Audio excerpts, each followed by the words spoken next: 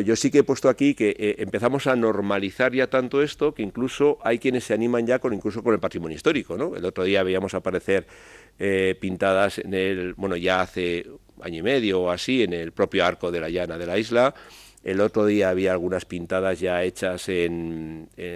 Bernarda, si mal no recuerdo, también en la Casa del Cordón había alguna, en el Arco de San Martín apareció también una pintada no hace mucho, que la tengo reflejada en, esas fotografías. Es decir, parece que empezamos a normalizar tanto ya esto que, parece que ya uno se atreve con todo, incluso con el patrimonio histórico más sensible.